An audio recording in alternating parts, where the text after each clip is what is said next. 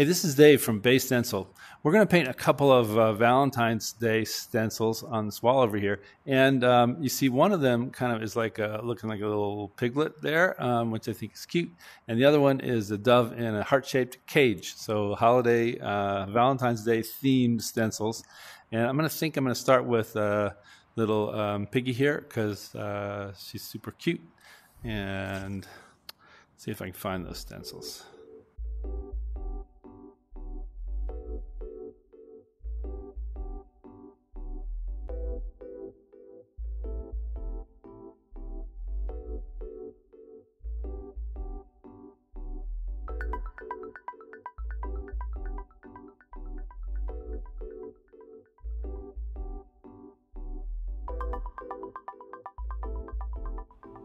Okay, so you can already tell I don't like this one. Um, first of all, it's a postcard, and so I really want to try to do this in a way that leaves out the white layer. Um, that is, um, so I don't paint a white layer with a white box around the outside. I'll show you a way to do that. And the second thing is that uh, the this this area here isn't quite dark enough because this should be where the eye is, and the ears should be kind of like a little bit out. So this should be darker, and um, I also I like the pink, but you don't really get the bow. You don't really see the bow in here. So I think in this area in the pink, I probably want to in the pink part of the stencil. Uh, I probably want to paint this a different color so that you really make out that there's a bow here. Maybe I would do, I don't know, yellow here. Maybe I would put yellow right just in this area on the pink stencil. Um, that is on the mid on the mid tone stencil. So I'm going to try it again, and I'm going to do it a little bit differently. This time I'm going to paint a light pink uh, on the background, uh, and I'm gonna and I'm gonna make the background kind of diffuse, and then I'm going to put the mid-tone layer, which is going to be um, a slightly darker pink, or maybe yeah, darker pink, or a red, or very light red, and then I'm to do black on the darkest layer, and I think that's going to be I think that's going to be better. Pink, red, black. Let's try that, and then we'll put the we'll put yellow here, and that way it'll be. Uh, let's see, that white part will be pink. So maybe I need to figure out a way around that. Maybe I'll use the white stencil to make a little yellow around the edge. Okay, let's uh, let's see what we can do.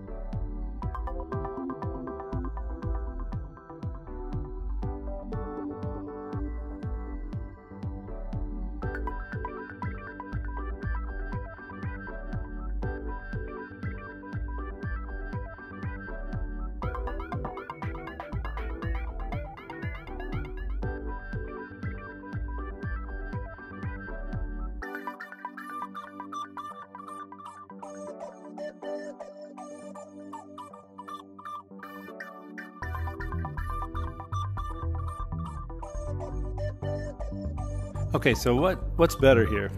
Uh, one thing that's better is that it's not in a letterbox. So that was in a letterbox, and this one is in a more organic shape. This time I just chose to use a heart as a background for background color. You can see that that pink background is kind of in this is in this image. It's in here. It's in here. Um, so it's kind of like made its way to the center of the image where there was white. There's now some pink. It's just that I went in and used the white layer and I went back over it and made it a little bit lighter. So that's why you see this is almost the same color as this, but it's uh, got a little bit more white on it. It's not pure white. Um, the second thing that went better is that you can see the eyes. Like you can you can kind of tell that there's a, an eye on the right hand side, whereas before you couldn't because they didn't use a dark enough color. Um, and uh, the nose looks more like a nose, looks more like a snout. Uh, the bow on the pig is much um, nicer. A uh, couple of things I think could be better is actually I like the original color scheme better, like white, pink, and then dark darker, almost black, purple, black, purple. And so what I might try if I did this again is to make the heart like a white heart on a pink or a purple background and then put the pig on the heart. And then because there will be white on the heart, then the pig could be pink and then the, the rest of the features could be darker. Um, The other thing is that this this part down here was not so successful because it just kind of hangs out in the air. This is meant to look like a shadow of the pig down below. So either might take that shadow out altogether, or um, or set this on an area where it looks like you know where it looks believable that the pig is standing on standing on something. So maybe take this area and make something around here that kind of looks like a platform with the heart behind the platform, and then purplish colors out beyond that. Um, but I'm pretty happy with this one. I think I'm ready to move on to try this uh, bird and cage stencil. I might just advance directly to um, to a version of that that I think that will be successful. But I think there's some hybrid of these two that would work right. This, these colors are right for me, and um, maybe you prefer these colors, but um, I would probably do something like this with these colors, and I would make a make it clear that there's a place for this thing to stand. We're gonna have the same issue with this other one here, so I might go ahead and address that.